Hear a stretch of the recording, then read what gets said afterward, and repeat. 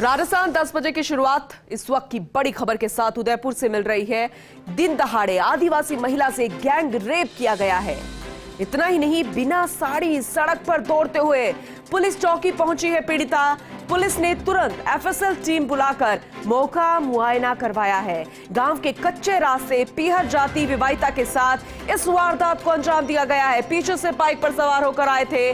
दो युवकों पर आरोप भी लगाया गया है। जैसे तैसे युवकों के चंगू से छूटकर बिना साड़ी भागी है पीड़िता। थाने पहुंचकर इतला के बाद मौके पर पुलिस को साड़ी भी बरामद हो गई है। पुलिस ने केस दर्ज कर पीड़िता का मेडिकल मुआयना करवाया है। घटना के बाद दोनों फरार हो गए हैं और उन फरार आरोपियों की तलाश में जुटी है पुलिस। आरोपी युवक की घड़ी भी पुलिस ने मौके से बरामद कर ली है। एसपी मनोज कुमार ने एक से ज़्यादा लोगों की भूमिका यहाँ पर बताई है। इस वक्त की बड़ी और शर्मनाक खबर आप तक पहुँचा रहे हैं। एक बार फिर से शर्मनाक होता हुआ प्रदेश और उदयपुर से बड़ी खबर, जहाँ पर एक महिला के साथ गैंगरेप हुआ है और जैसे तैसे महिला जो है, पुलिस थाने पहुँची, लेकिन ये जानकारी मिल रही है कि वो बिना साड़ी ही दौड़ी, लेकिन अपनी जान उसने बचाई। गैंगरेप उसके साथ हुआ है और ये शर्मनाक खबर आप तक पहुँचा रहे हैं। आखिर कब इन घटनाओं पर लगाम लगेगी?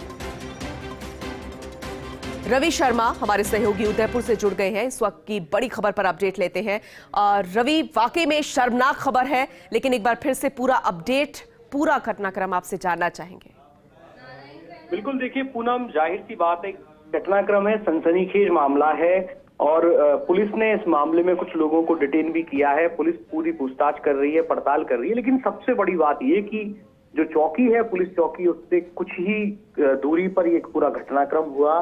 जिसमें बाइक सवार तीन बदमाश थे जिनमें से दो बदमाशों ने विवाहिता को विवाहिता को पकड़ा और उसके बाद उसे खेत में ले जाकर उसके साथ दुष्कर्म गैंगरेप की जो घटना हुई है बेहद शर्म शर्मसार कर देने वाली है। पुलिस की जो टीमें हैं एफएसएल की जो टीमें हैं वो मौके पर पहुँची। ज़रूरी साक्ष्य जो हैं वो वहाँ पर जुटाए हैं।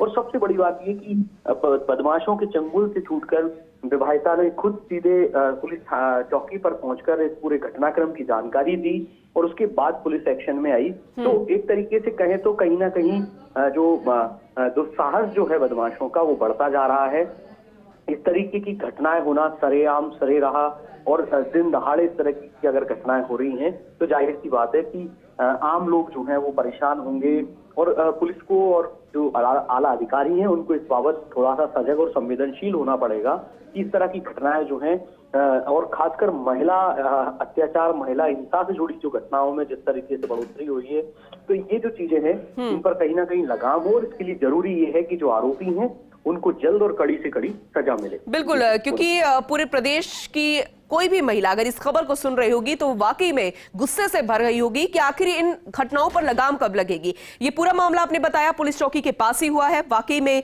परेशान करने वाली खबर है, लेकिन जरा ये बताइए कि कच्चे रास्ते से पीड़ित महिला पिहर जा रही थी और रास्ते में पूरा घटनाक्रम हुआ था। लेकिन कितने लोग थे? क्योंकि पुलिस जो ये कहती नज़र आ रही है कि ज़्यादा लोगों की भूमिका इसमें हो सकती है। इसमें क्या अपडेट है? जी देखिए सबसे बड़ी बात ये कि फ़िलहाल जो है वो एक एक बाइक थी जिस पर तीन युवक सवार थे जिनमें से दो युवकों ने इस पूरे घटनाक्रम को अंजाम दिया। और और कौन लोग इसमें लिप्त रहे हैं और कौन लोग बाद में इसमें जुड़े हैं इन तमाम फैक्ट्स को लेकर पुलिस अभी पूछताछ कर रही है पड़ताल कर रही है। आसपास के जो लोग हैं उनसे भी पूछताछ की जा रही है कि ये जो पूरा घटनाक्रम है इसमें और कौन लोग शामिल हैं।